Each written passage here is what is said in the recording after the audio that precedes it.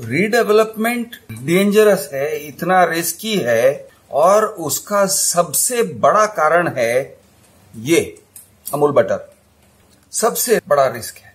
क्योंकि managing committee वालों को लगता है बिल्डर को मक्खन लगाने की ज़रूरत है बिल्डर के पिछवाड़े को चमकाने की ज़रूरत है, उसके इमेज को चमकाने की ज़रूरत है। बिल्डर्स के साथ मैनेजिंग कमेटी वाले अक्सर मिले हुए होते हैं। या कई बार मिले हुए होते हैं, ये तो मैं ज़रूर कहूँगा। हो सकता है कि कुछ केसेस में वो ईमानदार हैं, लेकिन कई बार ऐसे होता है कि बिल्डर पहले मैनेजिंग कमेटी वालों के साथ बैठता है सेटिंग करके लेके आता है। तो वो लोग बिल्डर को प्रोटेक्ट करने में लगे रहते हैं, उसको इंट्रोड्यूस करेंगे। चेयरमैन या सेक्रेटरी खड़ा हो जाएगा और कहेगा, देखिए, हमारे सोसाइटी में कौन आया है? ये है संघवी साहब संघवी बिल्डर को तो आप जानते ही हो, अब बहुत बड़ा बिल्डर है, आप लोग जानते हो तो पब्लिक में से कोई एक चमचा बोलेगा हाँ घाटकोपर में उनका बहुत बड़ा नाम है। चूतिया आदमी एक नंबर का, बेचने, वो बेचने निकला है जो उसका है ही नहीं। बेगानी शादी में अब्दुल्ला दीवाना, ये टाइप के आपको दस चूतिये मिलेंगे अपने ही सोसाइटी के अंदर से। डेढ़ शाणे लोग बिल्डर की चमकाने बैठ जाएँगे। संघवी साहब संघवी साहब। कौन, किसने संघवी साहब का नाम नहीं सुना है? फिर कोई डेढ़ शाणा कहेगा, अरे साहब, आपका मीरा रोड का प्रोजेक्ट हो गया क्या?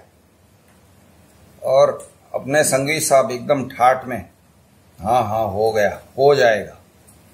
पब्लिक को एक टाइप का इंफीरियोरिटी कॉम्प्लेक्स तीन माले, चार माले के, पाँच माले के जो बिल्डिंग्स हैं छोटे छोटे बोरीवली, दहीसर, जोगेश्वरी, मुलुंड छोटे छोटे जो बिल्डिंग्स हैं, जो बने बने थे 1980s में या 70s में या 90s में, वो सारे बिल्डिंग वालों को इंफीरियोरिटी कॉम्प्लेक्स जैसे कि अपनी बहन को ब्याहने वाले हैं और वो बहन लूली लंगड़ी भेंगी है। यानी लड़का देखने को आया तो उसकी आरती उतारो भाई। वो लड़का हाँ कह दे, किसी तरह से हाँ कह दे, भाई हमारी लड़की जो है वो तो जाने वाली नहीं है, उसको कुछ आता ही नहीं है और भाई हम उसको किसी तरह से ब्याहना चाहते हैं। उनको क्या लगता है? अरे, हमारा बिल्डिंग तो गिरने को जा रहा है, अभी तीन चार साल में गिर जाएगा। ये गिर जाएगा? क्यों गिर जाएगा? क्योंकि आपका सोसाइटी ने मेंटेन नहीं किया, इसलिए गिर जाएगा। वो सबसे बड़ा खतरा तो आपका सोसाइटी है। सोसाइटी ने प्लास्टरिंग नहीं करवाया, पेंटिंग नहीं करवाया, कुछ नहीं करवाया। जब से कन्वेंस हाथ में आ गया तो सोसाइटी को लगा कि अभी कुछ नहीं चाहिए। एक रुपया खर्चा नहीं करती है। ज़मीन पे अगर फिसलन हो जाता है बारिश में लील चढ़ जाता है, बाहर कंपाउंड में। तो कम से कम यार, उसको घिस के निकलवाओ या पाउडर डाल के ब्लीच डाल के, वो तो करो ब्लीच का तो खर्चा करो, वो भी नहीं करते। कोई गिरेगा, कोई फिसलेगा, कोई मरेगा, किसकी हड्डी टूटेगी, उसका भी ख्याल नहीं। प्लास्टर कहीं पे गिर रहा है, किसी के घर पे गिर रहा है, कहीं पैसेज में गिर रहा है, कहीं टेरेस के पास बड़े बड़े प्लास्टर के गट्ठे गिरते हैं। सोसाइटी का मैनेजिंग कमेटी फुल रीडेवलपमेंट के जोन में चली गई है। हमको तो भाई अब रीडेवलपमेंट चाहिए। अभी ये बिल्डिंग पे एक रुपया खर्चा करने का नहीं है। कंजूसी फुल कंजूसी। अब ये लोग इस टाइप के काम करते हैं। बिल्डर को बुलाते हैं। बिल्डर की चापलूसी। बिल्डर के साथ मिली भगत। बिल्डर को कोई सवाल करे तो भाई बिल्डर नाराज़ नहीं होता है।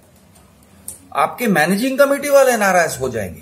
अरे मैं इतना मेहनत करके संघवी साहब को लेके आया था और तुम उसको ऐसा अड़े टेढ़े सवाल करते हो। ओ संघवी साहब गलत मत मानना हाँ, हमारे हमारे सोसाइटी में बहुत चूतिए लोग रहते हैं। वो बात तो सच है तुम्हारे सोसाइटी में रहते हैं बहुत चूतिए लोग। लेकिन जो सवाल करता है ना वो चूतिया नहीं है। बाकी के जो लोग हैं जो चापलूसी कर रहे हैं और मक्खन मार रहे हैं ना वो हैं तुम लोग हो। बिल्डर को ठोक बजा के देखने का होता है। बिल्डर का चमड़ी उखाड़ के देखने का होता है। यानी आप लोग बिल्डर के तरफ़ ये चीज़ मत इस्तेमाल करो, बटर बटर मत यूज़ करो। आप लोगों को यूज़ करना चाहिए, क्या मालूम है? ये हथौड़ा बिल्डर को ठोक बजा के देखो कि बिल्डर बना किस चीज़ का है। वो खरे सोने का है, या पीतल का है, या लोहे का है जंग खाया हुआ है, मेरा कहने का मतलब ये कि उसके अकाउंट्स क्या है? उसके अकाउंट्स में स्ट्रेंथ है कि नहीं? उसका बैलेंस शीट पूछो। तो संघवी शब्द बाय द वे ये संघवी शब्द मैं यूज़ कर रहा हूँ। नाम एकदम कॉमन है, कोई भी गुजराती बिल्डर अपने आप को वो नाम से निकाल लेगा, पारेख बिल्डर हो सकता है, शाह बिल्डर हो सकता है देसाई बिल्डर हो सकता है। हो सकता है कि वो गुजराती नहीं भी हो, वो कोई और कम्युनिटी का हो, वो मारवाड़ी हो, वो अग्रवाल बिल्डर हो सकता है। वो भी नहीं, चलो महाराष्ट्रियन होगा जादव बिल्डर हो सकता है। कि जादव साहब है तो जादव साहब का चमकाएँगे चमकाएँगे चमकाएँगे।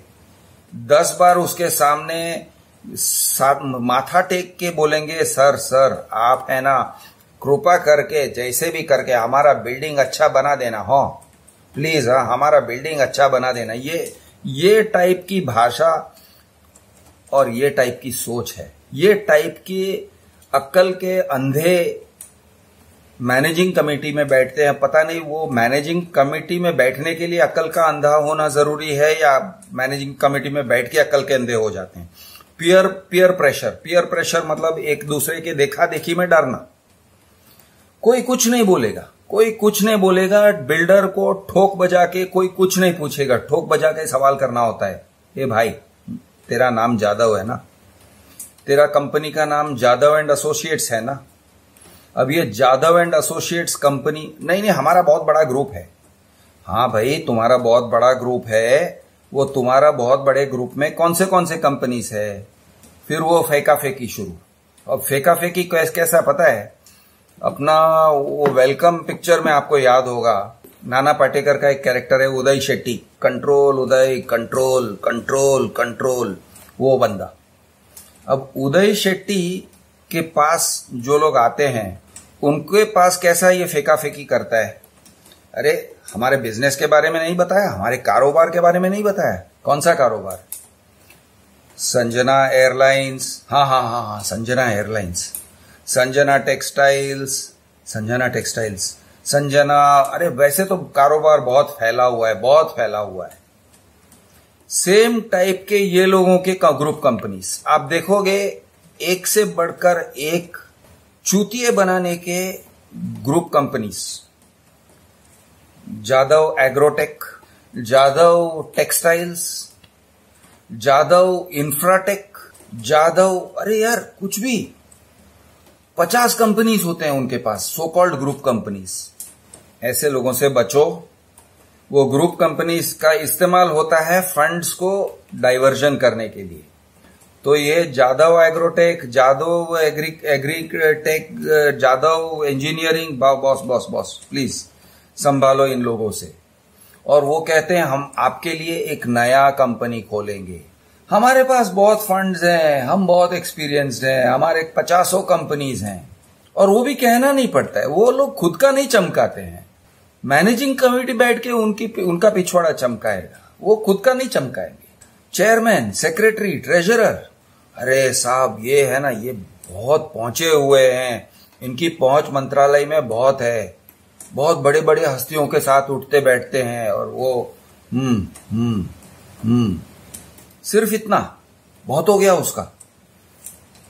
कोई अगर सवाल पूछता है अरे जादव साहब जरा अपनी कंपनी का टर्नओवर तो बताओ। अपने तीन साल के बैलेंस शीट्स तो दिखाओ। नहीं नहीं वो उसकी ज़रूरत क्या है? ये कौन बोल रहा है? चेयरमैन या सेक्रेटरी अरे क्या बात है? उसकी ज़रूरत क्या है? ए, ये तू पागल है क्या रे? तू रेड़ा है क्या रे? जाधव साहब इतने बड़े हैं उनके पास प्रोजेक्ट फाइनेंस तो वैसे ही आ जाएगा कोई भी दे देगा उनको प्रोजेक्ट फाइनेंस अरे इसको तो कोई भी फाइनेंस दे देगा। और जादव हम्म हम्म, हम्म मैं लेके आऊँगा। मेरे पास मेरा हमारा सर्कल में सब कुछ हो जाएगा। हमारे सर्कल में। हमारे सर्कल में मतलब सर आपके सर्कल में है कौन? जरा बताएँगे जरा बोलने का कष्ट करेंगे। अरे, आप जानते नहीं हो पब्लिक अरे, जादव साहब बहुत बड़े हैं। ये माहौल में, ये माहौल में आपका रीडेवलपमेंट रखड़ेगा नहीं तो क्या होगा मुझे बताइए। कभी कभी साथ में कॉरपोरेटर आ जाएगा, या भूतपूर्व कॉरपोरेटर आज आज का कॉरपोरेटर है तो बहुत बढ़िया। नहीं है तो भूतपूर्व कॉरपोरेटर भी चलेगा। भूतपूर्व भूतपूर्व एमएलए आ जाएगा। साथ में। और जैसे ही वो साथ में आ गया, इसका वज़न बढ़ गया। अरे साहब, ये अपने बड़े बड़े पॉलिटिशियंस को अपने पॉकेट में लेके घूमते हैं। अब चलो, हम नाम बदल देते हैं क्योंकि संघवी भी हो गया, जादव भी हो गया। चलो, अग्रवाल बना देते हैं। या और एक पंजाबी बना देते हैं, खुराना। अरे खुराना साहब तो बहुत पहुँचे हुए हैं। उनका बहुत जय जयकार होता है, आप जानते नहीं हो। वो पॉलिटिशियंस लोग, देखो देखो, हार, फूल हार तैयार। सारा एजीएम है। एजीएम में जैसे ही, या या EGM extraordinary general body meeting EGM के एजेंडा में क्या है कि हम बिल्डर से सवाल करेंगे कि वो कितने टाइम में कैसे प्रोजेक्ट कंप्लीट करेगा। मतलब थोड़ा सा जवाबदार ठहराने का काम करेंगे। तो जवाबदार ठहराने के लिए आपका पूरा एटीट्यूड ऐसे होना चाहिए सब लोगों का इंक्लूडिंग मैनेजिंग कमेटी कि हम इसको थोड़ा छील के देखते हैं। थोड़ा छीलो इसको। घिसो। ओके उसकी चमड़ी थोड़ी निकलने दो, उसको अपने आप को डिफेंड करने दो। थोड़ा छीलो भाई इसको। ये होना चाहिए। थोड़ा पूछो उसको सवाल। साहब सिंपल मैं आपको सिंपल सवाल दिखा रहा हूँ। किस टाइप के बहुत सिंपल सवाल है। आप ये पूछ सकते हो, खुराना साहब, आपकी इतनी बड़ी कंपनियाँ हैं करेक्ट कंपनीज़ के इतने इतना सारा टर्नओवर होगा करेक्ट खुराना एग्रोटेक और खुराना इंजीनियरिंग और खुराना एयरलाइंस और पता नहीं क्या क्या खुराना।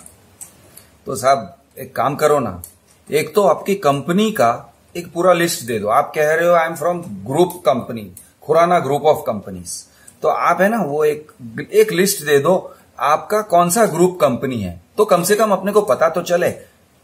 नहीं नहीं नहीं, अब पब्लिक अरे, हमको जानना नहीं है, हम पता, हमको पता है, हमको पता है। आप तकलीफ़ मत करिए। ये आपकी मैनेजिंग कमेटी अब ये टाइप के बिहेवियर से खतरा है। आपको खतरा है। सोसाइटी वालों को खतरा है। क्यों? क्योंकि जब कोई सवाल करेगा, उसको दबा देंगे।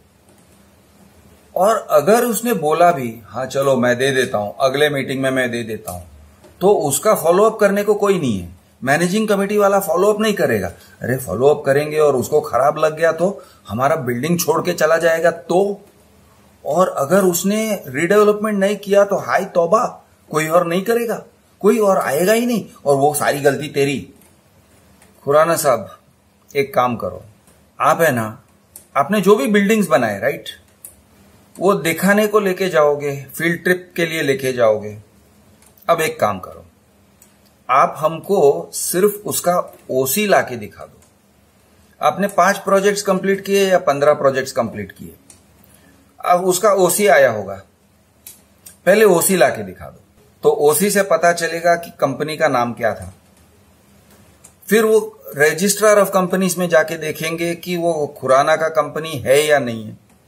और ये भी हम देख लेंगे कि ये कंपनी जिसमें वो काम किया है, उसका आरओसी में से, रजिस्ट्रार ऑफ़ कंपनीज़ में से उसकी पूरी, पूरे पेपर्स निकाल सकते हैं कि ये कंपनी ने कितने साल में कितना काम किया है। इसका टर्नओवर क्या था? यानी वो कितने गहरे पानी में तैर सकता है, ये तो अपने को पता चल जाएगा। तो खुराना साहब प्लीज़ आप ओसीस लिखा के, लाके दिखा दो, बस खत्म हो गई बात। नहीं नहीं नहीं वो सब अंडर कंस्ट्रक्शन है। अच्छा अच्छा अंडर कंस्ट्रक्शन है। अभी तक खत्म नहीं हुआ है क्या? नियर कंप्लीशन है लेकिन खत्म नहीं हुआ है। अच्छा ठीक है चलो एक काम करते हैं। वो सारे बिल्डिंग्स का जो आ, कौन से परमिशंस हैं? लेआउट परमिशंस है ना? Layout permissions IOD CC layout permissions layout approval ठीक है? वो सब लाके दिखा दो सर। हम देखते हैं कि आपका सीसी कहाँ तक आया है। आपका किस लेवल तक सीसी आया है। आपने कितना काम किया है। सर, आपके जो भी प्रोजेक्ट्स हैं ना, उसका रेरा नंबर दे दो। हम थोड़ा देख लेते हैं कि आप कितने अरे नहीं नहीं, वो हमारा ग्रुप कंपनी अरे भाई, आपका ग्रुप कंपनी है, आप बोल रहे हो ना। उसका रेरा नंबर दे दो ना। एक बार हम देख तो लेवे कि क्या है। आपके फ़ील्ड ट्रिप में हम जाएँगे आपके साथ हम बिल्डिंग्स का भ्रमण करेंगे बस में बैठ के सोसाइटी वाले। आप कोई भी बिल्डिंग दिखा दोगे और कहोगे, ये मेरा है। मैंने इसमें काम किया है। उस पर नाम नेम प्लेट कुछ अलग भी होगा। तो अगर खुराना ने आपको बिल्डिंग दिखाया और बिल्डिंग का नाम है अमेजिंग हाइट्स अब अमेजिंग हाइट्स खुराना ने बनाया या किसी और बिल्डर ने बनाया, आपको आपको तो पता चलने वाला नहीं है। आपको वो सेक्रेटरी से मिलाएगा नहीं, और अगर मिला भी दिया एक बार तो हो सकता है कि उसने सेक्रेटरी को थोड़े से पैसे जेब में डाल दिए। एक, दो हज़ार, तीन हज़ार, पाँच हज़ार रुपए जेब में डाल दिया और बोला, यार, तू एक काम करना। इतना बोल देना कि हमारा ये बिल्डिंग बनाया है खुराना ने और, बस, हो गया। ओके कुछ ज़्यादा टेंशन नहीं है, वो सवाल पूछेंगे, उतना जवाब दे देना। हो सकता है आई डोंट नो आप कैसे जानते हो कि उसने वो बिल्डिंग बनाया है? तो जब तक आप उसका आईओडी सीसी ओसी करस्पॉन्डेंस ये सब नहीं देखोगे, आपको पता नहीं चलेगा। लेकिन ये सब पूछेगा कौन? ये सवाल कौन करेगा? क्योंकि सोसाइटी वालों को आप लोग चुप कराते हैं। एक दूसरे को चुप कराते हैं, जनरल बॉडी वाले। मैनेजिंग कमेटी, ऑफ़िस बेरर्स तो खास चुप करवा देते हैं, चढ़ जाते हैं सोसाइटी वाले पे। अगर उसने ऐसे कोई सवाल पूछा तो मेरा, आपको, आपसे एक सिंपल सुझाव है। थोड़ी सी अपनी अक्कल को वापरो, ठोक बजा के देखो, इसका इस्तेमाल थोड़ा कम करो, मक्खन मत मारो प्लीज़ बिल्डर को मक्खन की ज़रूरत नहीं है। बिल्डर को इसकी ज़रूरत है, थोड़ा उसको रगड़ के देखो, थोड़ा उसको ठोक बजा के देखो, ठीक है? कहीं ऐसा ना हो कि बिल्डर ने आपको अपने बारे में कुछ गलत कह दिया वो स्कैम निकला, वो एस्टेट एजेंट निकला बिल्डर सही बिल्डर निकला भी नहीं, उसके पास बुक स्ट्रेंथ नहीं है, वो दलाल निकला एक नंबर का। ऐसे होता है। और बहुत सारे रीडेवलपमेंट प्रोजेक्ट्स अटके हुए हैं सिर्फ़ इसीलिए क्योंकि मैनेजिंग कमेटी ने सवाल नहीं पूछा और पब्लिक से पब्लिक को सवाल पूछने नहीं दिया। और अगर बिल्डर को थोड़ा ऐसा हुर्र करके वो दिखाएगा कि उसको खराब लगने वाला है तो सब लोगों की फट जाती है। ये मत करो, बिल्डर आपसे डरे, वैसा काम करो, ऐसा काम मत करो कि आप बिल्डर से डरते हो। बिल्डर को आपके सोसाइटी वालों से डरना चाहिए। बिल्डर को आपसे डरना चाहिए कि आप कौन से सवाल पूछोगे। वो स्टूडेंट की तरह आपके सामने आएगा और आप स्कूल टीचर और प्रिंसिपल बनो। ऐसे मत करो कि बिल्डर प्रिंसिपल है और वो प्रिंसिपल आया हुआ है तो सब स्टूडेंट्स के जैसे आप लोग चड्डी पहन के खड़े हो गए, ऐसा काम मत करो। नहीं तो बाद में बहुत पछताना पड़ता है सोसाइटी पूरा बेघर हो जाता है और रीडेवलपमेंट बनता नहीं है। पंद्रह साल के लिए रखड़ जाता है। मैं हूँ आपका दोस्त क्रिश दर्बन नक्सल जय हिंद।